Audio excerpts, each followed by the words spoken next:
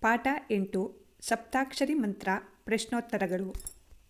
ಕೊಟ್ಟಿರುವ ಪ್ರಶ್ನೆಗಳಿಗೆ ಒಂದು ವಾಕ್ಯದಲ್ಲಿ ಉತ್ತರಿಸಿ. ಪ್ರಶ್ನೆ ಒಂದು, ರಾಘವನ ಯಜ್ಞಾಶ್ವ ಯಾರ ಆಶ್ರಮವನ್ನು ಒಕ್ಕಿತು? ಉತ್ತರ, ರಾಘವನ ಯಜ್ಞಾಶ್ವ ಅರಣ್ಯಕ ಮುನಿಯ ಆಶ್ರಮವನ್ನು ಒಕ್ಕಿತು.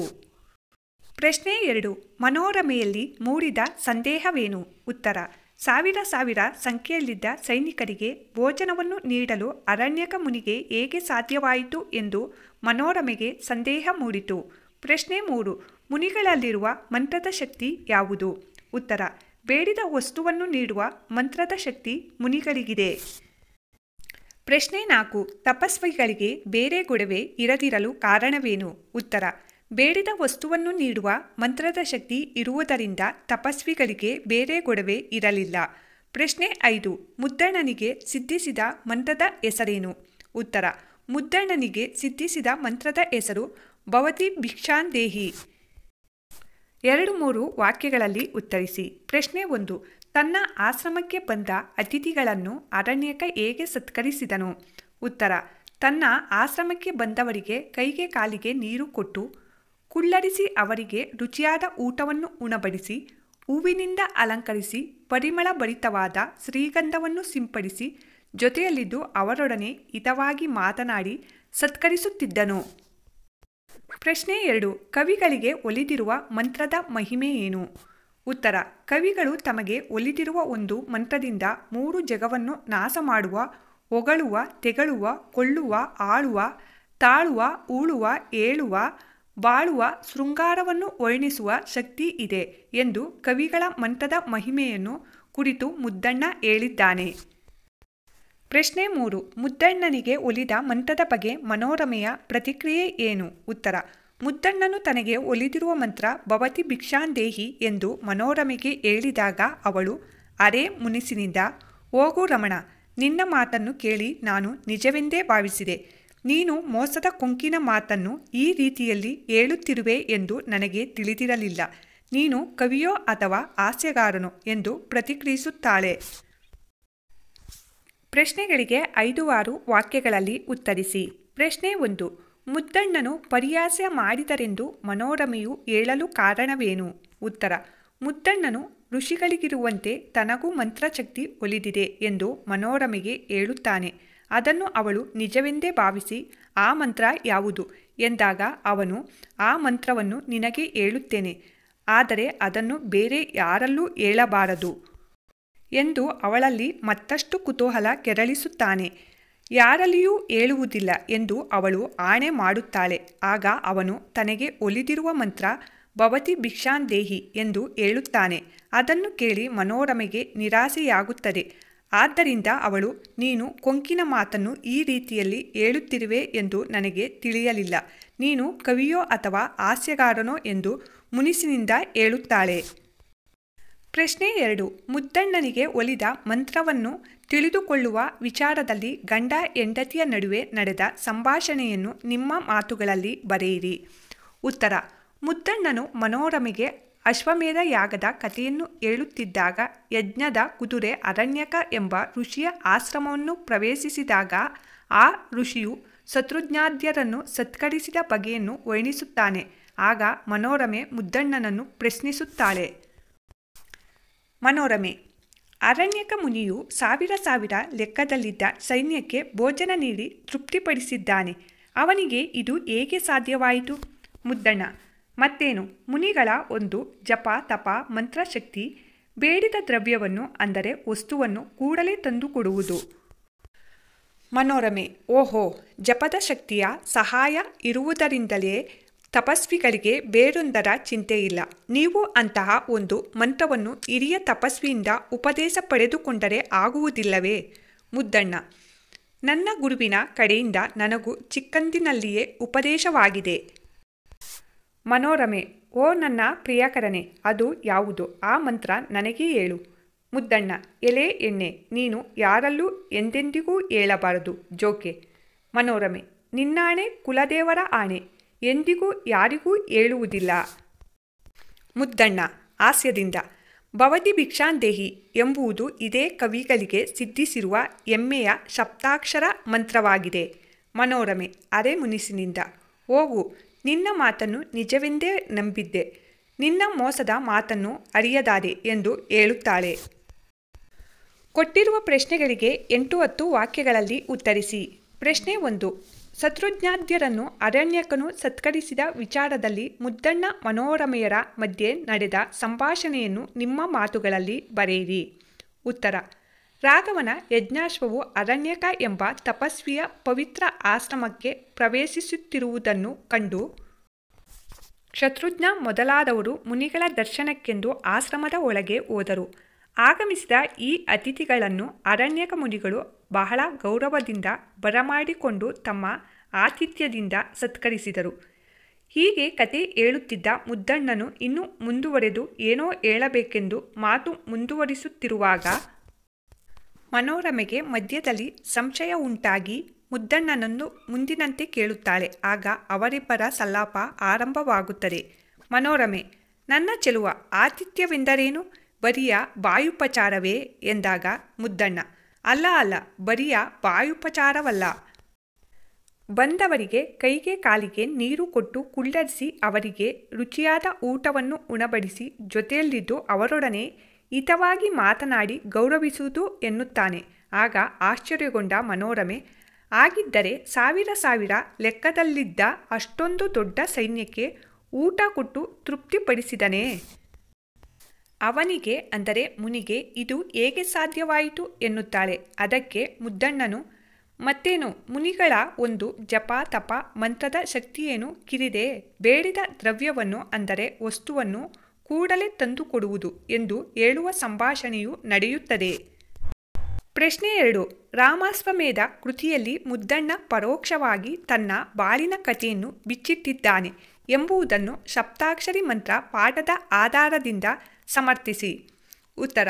ರಾಮಾಶ್ವಮೇಧ ಕಥೆಯನ್ನು ಏಳ ಹೊರಡುವ ಕವಿ ಕಾವ್ಯದ ಮಧ್ಯದಲ್ಲಿ ತನ್ನ ಜೀವನದ ವಾಸ್ತವತೆಯನ್ನು ಬಿಚ್ಚಿಡುವುದು ಒಂದು ವಿಶಿಷ್ಟವೇ ಸರಿ. ಇದು ಮುದ್ದಣ್ಣ ಮನೋರಮೆಯರ ಸಲ್ಲಾಪವೆಂದೇ ಖ್ಯಾತಿ ಪಡೆದಿದೆ. ಕಾವ್ಯ ಧರ್ಮದೊಳಗೆ ಜೀವನ ಧರ್ಮವನ್ನು ಬೆರೆಸಿ ಹೇಳುವ ಕವಿಯ ಕಲೆಗಾರಿಕೆಯನ್ನು ಮುದ್ದಣ್ಣನಲ್ಲಿ ಕಾಣಬಹುದಾಗಿದೆ. ಎಷ್ಟೇ ಕಷ್ಟಗಳಿದ್ದರೂ, ಮನಸ್ಸನ್ನ ಸುಡುವ ಚಿಂತೆಯಿದ್ದರೂ ನವಿರಾದ ಹಾಸ್ಯ ಇವುಗಳನ್ನು ಸ್ವಲ್ಪ ಕಾಲ ಮರೆಯುವಂತೆ ಮಾಡುತ್ತದೆ. ಶ್ರೀ ರಾಮಾಶ್ವಮೇಧ ಕೃತಿಯಲ್ಲಿ ಮಡದಿ ಮನೋರಮೆ ಅಂದರೆ ನಿಜನಾಮ ಕಮಲಾಬಾಯಿ. ಯೊಡನೆ ಸಂವಾದದಲ್ಲಿ ನಿರತನಾದಾಗ ವ್ಯಕ್ತವಾಗುವ ಮಾತುಗಳು, ಮುದ್ದಣ್ಣನ ಕಷ್ಟ ಜೀವನದ ಪ್ರತೀಕವೇ ಆಗಿವೆ. ಪ್ರಕೃತ ಗದ್ಯ ಭಾಗದಲ್ಲಿ ಸಪ್ತಾಕ್ಷರಿ ಮಂತ್ರದ ಶ್ರೇಷ್ಠತೆಯ ನೆಪದೊಂದಿಗೆ ತನ್ನ ಹಾಗೂ ಅಂದಿನ ಕವಿಗಳ ದಾರಿದ್ರ್ಯವನ್ನು ಪರೋಕ್ಷವಾಗಿ ಮುದ್ದಣ್ಣ ವ್ಯಕ್ತಪಡಿಸಿದ್ದಾರೆ. ಹೊರನೋಟಕ್ಕೆ ಕುತೂಹಲಕಾರಿಯೂ ಹಾಸ್ಯಮಯವೂ ಆಗಿದ್ದರೂ ಒಳಗೆ ದಾರುಣ ವ್ಯತೆಯ ಕಥೆಯಲ್ಲಿ ಅಡಗಿರುವುದನ್ನು ಇಲ್ಲಿ ಕಾಣಬಹುದು. ಸಂದರ್ಭ ಸಹಿತ ಸ್ವಾರಸ್ಯವನ್ನು ವಿವರಿಸಿ. ಸಂದರ್ಭ ಒಂದು, ಎರಗಿದಚ್ಚರಿ ಎಂತು ಟರ್ಕಿತಂ. ಆಯ್ಕೆ, ಈ ವಾಕ್ಯವನ್ನು ಪ್ರೊಫೆಸರ್ ಜಿ. ವೆಂಕಟಸುಬ್ಬಯ್ಯ ಅವರು ಸಂಪಾದಿಸಿರುವ ಮುದ್ದಣ್ಣ ಭಂಡಾರ ಕೃತಿಯಿಂದ ಆರಿಸಲಾಗಿರುವ ಸಪ್ತಾಕ್ಷರಿ ಮಂತ್ರ ಎಂಬ ಗದ್ಯಭಾಗದಿಂದ ಆರಿಸಿಕೊಳ್ಳಲಾಗಿದೆ. ಸಂದರ್ಭ, ಮುದ್ದಣ್ಣನು ಮನೋರಮೆಗೆ ರಾಮಾಶ್ವಮೇಧದ ಕತೆ ಹೇಳುತ್ತಾ, ಯಜ್ಞದ ಕುದುರೆ ಅರಣ್ಯಕ ಮುನಿಗಳ ಆಶ್ರಮವನ್ನು ಪ್ರವೇಶಿಸಿದಾಗ ಶತ್ರುಜ್ಞ ಮೊದಲಾದವರನ್ನು ಮುನಿಗಳು ಸತ್ಕರಿಸಿದ ಬಗೆಯನ್ನು ವರ್ಣಿಸಿದ ಸಂದರ್ಭದಲ್ಲಿ ಮನೋರಮೆ ಈ ಮೇಲ್ಕಂಡ ಮಾತನ್ನು ಹೇಳುತ್ತಾಳೆ. ಸ್ವಾರಸ್ಯ. ಮುನಿಯಾದವರು ಸಾವಿರಾರು ಜನರಿಗೆ ಸತ್ಕಾರ ಮಾಡಿದ ಪ್ರಸಂಗವನ್ನು ಕೇಳಿ ಮನೋರಮೆಗೆ ಅಚ್ಚರಿ ಹುಟ್ಟಿರುವುದು ಇಲ್ಲಿ ಸ್ವಾರಸ್ಯವಾಗಿದೆ. ಸಂದರ್ಭ ಎರಡು. ಅಪ್ಪುದಪ್ಪುದು ತಪ್ಪೆಂ. ಆಯ್ಕೆ ಈ ವಾಕ್ಯವನ್ನು ಪ್ರೊಫೆಸರ್ ಜಿ. ಸುಬ್ಬಯ್ಯ ಅವರು ಸಂಪಾದಿಸಿರುವ ಮುದ್ದಣ್ಣ ಭಂಡಾರ ಕೃತಿಯಿಂದ ಆರಿಸಲಾದ ಶಪ್ತಾಕ್ಷರಿ ಮಂತ್ರ ಎಂಬ ಗದ್ಯಭಾಗದಿಂದ ಆರಿಸಿಕೊಳ್ಳಲಾಗಿದೆ. ಸಂದರ್ಭ. ಸಾವಿರಾರು ಜನರಿಗೆ ಸತ್ಕಾರ ಮಾಡಲು ಅರಣ್ಯಕ ಮುನಿಗೆ ಏಕೆ ಸಾಧ್ಯವಾಯಿತು ಎಂದು ಮನೋರಮೆ ಮುದ್ದಣ್ಣನನ್ನು ಕೇಳಿದಾಗ ಮುನಿಗಳಿಗೆ ಹಲವಾರು ಮಂತ್ರಗಳ ಶಕ್ತಿ ಇದೆ ಎಂದು ಮುದ್ದಣ್ಣ ಹೇಳುತ್ತಾನೆ. ಆಗ ಮನೋರಮೆ, ಓಹೋ, ಆದ್ದರಿಂದಲೇ ತಪಸ್ವಿಗಳಿಗೆ ಯಾವುದೇ ಚಿಂತೆ ಇಲ್ಲ ಎಂದು ಹೇಳಿದ ಸಂದರ್ಭದಲ್ಲಿ ಮುದ್ದಣ್ಣನು ಈ ಮೇಲ್ಕಂಡ ಮಾತನ್ನು ಹೇಳುತ್ತಾನೆ. ಸ್ವಾರಸ್ಯ, ಮುನಿಯಾದವರಿಗೆ ಮಂತ್ರಗಳ ಶಕ್ತಿ ಇರುವುದರಲ್ಲಿ ತಪ್ಪೇನಿದೆ ಎಂದು ಮುದ್ದಣ್ಣ ಸಮರ್ಥಿಸಿರುವುದು ಇಲ್ಲಿ ಸ್ವಾರಸ್ಯವಾಗಿದೆ. ಸಂದರ್ಭ ಮೂರು. ಎಮ್ಮವಾರ್ ರೊಂದಿರಕೆ ನಗುವ. ಆಯ್ಕೆ. ಈ ವಾಕ್ಯವನ್ನು ಪ್ರೊಫೆಸರ್ ಜಿ. ವೆಂಕಟಸುಬ್ಬಯ್ಯ ಅವರು ಸಂಪಾದಿಸಿರುವ ಮುದ್ದಣ್ಣ ಭಂಡಾರ ಕೃತಿಯಿಂದ ಆರಿಸಲಾದ ಸಪ್ತಾಕ್ಷರಿ ಮಂತ್ರ ಎಂಬ ಗದ್ಯಭಾಗದಿಂದ ಆರಿಸಿಕೊಳ್ಳಲಾಗಿದೆ. ಸಂದರ್ಭ. ಅರಣ್ಯಕ ಮುನಿಗಳು ತಮಗಿರುವ ಮಂತ್ರಶಕ್ತಿಯಿಂದ ಅತಿಥಿಗಳಿಗೆ ಸತ್ಕಾರ ಮಾಡಲು ಸಾಧ್ಯವಾಯಿತು ಎಂದು ಮುದ್ದಣ್ಣ ಹೇಳಿದಾಗ, ಮನೋರಮೆಯು ತಪಸ್ವಿಗಳಿಗೇನು? ಸಂಸಾರದ ಚಿಂತೆಯೇ? ನಿಮ್ಮಂಥ ಕವಿಗಳು ಸಂಸಾರದ ಗೊಡವೆ ಇಲ್ಲದೆ ಆಳುಕತೆ ಬರೆದುಕೊಂಡಿರುವಿರಿ. ನೀವು ಕೂಡ ಹಿರಿಯ ಮುನಿಗಳಿಂದ ಮಂತ್ರಶಕ್ತಿಯ ಉಪದೇಶ ಪಡೆದುಕೊಂಡರಾಗದೆ ಎಂದು ಛೇಡಿಸಿದ ಸಂದರ್ಭದಲ್ಲಿ ಮುದ್ದಣ್ಣನು ಈ ಮಾತನ್ನು ಹೇಳುತ್ತಾನೆ. ಸ್ವಾರಸ್ಯ, ಹಿಂದೆ ಕವಿ ಸಾಹಿತ್ಯಗಳು ಸಾಹಿತ್ಯ ರಚನೆಯಲ್ಲಿ ಮುಳುಗಿದ್ದು, ಬಡತನದಿಂದ ಸಂಸಾರವನ್ನು ನಡೆಸುತ್ತಿದ್ದ ಬಗೆ ಇಲ್ಲಿ ಸ್ವಾರಸ್ಯಕರವಾಗಿ ವ್ಯಕ್ತವಾಗಿದೆ. ಸಂದರ್ಭ ನಾಲ್ಕು.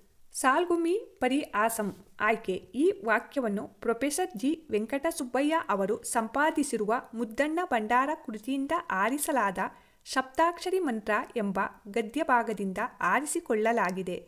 ಸಂದರ್ಭ, ಮುದ್ದಣ್ಣನು ತನಗೆ ಒಲಿದಿರುವ ಮಂತ್ರ ಭವತಿ ಭಿಕ್ಷಾಂದೇಹಿ ಎಂದು ಹೇಳಿದಾಗ ಮನೋರಮೆ ಉಸಿಮುನಿಸಿನಿಂದ ನಿನ್ನ ಮಾತನ್ನು ನಿಜವೆಂದೇ ನಂಬಿದ್ದೆ.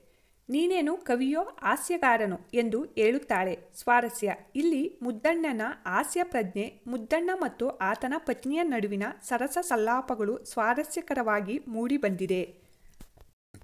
ಮೊದಲೆರಡು ಪದಗಳಿರುವ ಸಂಬಂಧದಂತೆ ಮೂರನೇ ಪದಕ್ಕೆ ಸಂಬಂಧಿತ ಪದವನ್ನು ಬರೆಯಿರಿ. ಒಂದು, ಮೃಷ್ಟಾನ್ನ ಸವರ್ಣ ದೀರ್ಘ ಸಂಧಿ ಒಡನಿರ್ದು ಲೋಪಸಂಧಿ. ಎರಡು, ಕಾವ್ಯ, ಕಬ್ಬ, ಆಶ್ಚರ್ಯ, ಅಚ್ಚರಿ. ಮೂರು, ಮನ್ನಿಸು ಗೌರವಿಸು ಭಾವನ್ನ ಸುಗಂಧ ಅಥವಾ ಶ್ರೀಗಂಧ. ನಾಲ್ಕು, ಕುವೆಂಪು, ಕುಪ್ಪಳಿ, ಮುದ್ದಣ್ಣ, ನಂದಳಿಕೆ. ಭಾಷಾ ಚಟುವಟಿಕೆ, ಕೊಟ್ಟಿರುವ ಪ್ರಶ್ನೆಗಳಿಗೆ ಉತ್ತರಿಸಿ. ಪ್ರಶ್ನೆ ಒಂದು, ತತ್ಪುರುಷ ಸಮಾಸ ಎಂದರೇನು? ಉತ್ತರ, ಪೂರ್ವೋತ್ತರ ಪದಗಳು ನಾಮಪದಗಳಾಗಿದ್ದು ಪೂರ್ವಪದದ ಅಂತ್ಯದಲ್ಲಿರುವ ವಿಭಕ್ತಿ ಪ್ರತ್ಯಯ ಸಮಾಸವಾಗುವಾಗ ಲೋಪವಾದರೆ ಅದನ್ನು ತತ್ಪುರುಷ ಸಮಾಸ ಎನ್ನುವರು. ಇದರಲ್ಲಿ ಉತ್ತರ ಪದ ಅರ್ಥ ಪ್ರಧಾನವಾಗಿರುತ್ತದೆ. ಉದಾಹರಣೆಗೆ, ಬೆಟ್ಟ ಪ್ಲಸ್ ದಾವರೆ ಬೆಟ್ಟದಾವರೆ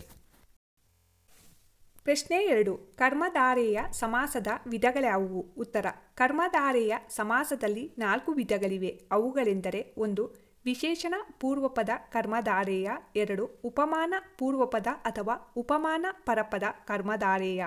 ಮೂರು, ಸಂಭವಾನ ಪೂರ್ವಪದ ಕರ್ಮಧಾರೆಯ. ನಾಲ್ಕು, ಅವತರಣ ಪೂರ್ವಪದ ಕರ್ಮಧಾರೆಯ ಸಮಾಸ. ಮೂರು, ದ್ವಿಗು ಸಮಾಸ ಎಂದರೇನು? ಉದಾಹರಣೆ ಕೊಡಿ. ಉತ್ತರ, ಪೂರ್ವಪದ ಸಂಖ್ಯಾವಾಚಕವಾಗಿದ್ದು ಉತ್ತರ ಪದ ನಾಮಪದವಾಗಿದ್ದರೆ ಅದನ್ನು ದ್ವಿಗು ಸಮಾಸ ಎನ್ನುತ್ತಾರೆ. ಉದಾಹರಣೆಗೆ ಮೂರು ಮುಡಿ, ಮುಮ್ಮುಡಿ, ನಾಲ್ಕು ದೆಸೆ ನಾಲ್ದೆಸೆ ಪಂಚಗಳಾದ ಇಂದ್ರಿಯ. ಪಂಚೇಂದ್ರಿಯ. ಪ್ರಾಯೋಗಿಕ ಭಾಷಾಭ್ಯಾಸ. ಕೊಟ್ಟಿರುವ ಸಮಾಸ ಪದವನ್ನು ನಿಗ್ರಹಿಸಿ ಸಮಾಸವನ್ನು ಹೆಸರಿಸಿ. ಚಳಿಗಾಲ, ಚಳಿಯಾದ ಪ್ಲಸ್ ಕಾಲ, ಕರ್ಮಧಾರೆಯ ಸಮಾಸ. ಯಜ್ಞ ತುರಂಗ, ಯಜ್ಞದ ಪ್ಲಸ್ ತುರಂಗ, ತತ್ಪುರುಷ ಸಮಾಸ. ಸವಿಗೋಳು, ಸವಿಯಾದ ಪ್ಲಸ್ ಗೋಳು, ಕರ್ಮಧಾರೆಯ ಸಮಾಸ. ಭೃಷ್ಟಾನ್ನ, ಭೃಷ್ಟವಾದ ಪ್ಲಸ್ ಅನ್ನ, ಕರ್ಮಧಾರೆಯ ಸಮಾಸ. ಏಕಾಕ್ಷರಿ, ಏಕವಾದ ಪ್ಲಸ್ ಅಕ್ಷರಿ, ದ್ವಿಗು ಸಮಾಸ. ಸಪ್ತಾಕ್ಷರಿ, ಸಪ್ತಗಳಾದ ಪ್ಲಸ್ ಅಕ್ಷರಿ, ದ್ವಿಗು ಸಮಾಸ. ವಾಯುಪಚಾರ ಬಾಯಿಂದ ಪ್ಲಸ್ ಉಪಚಾರ, ತತ್ಪುರುಷ ಸಮಾಸ.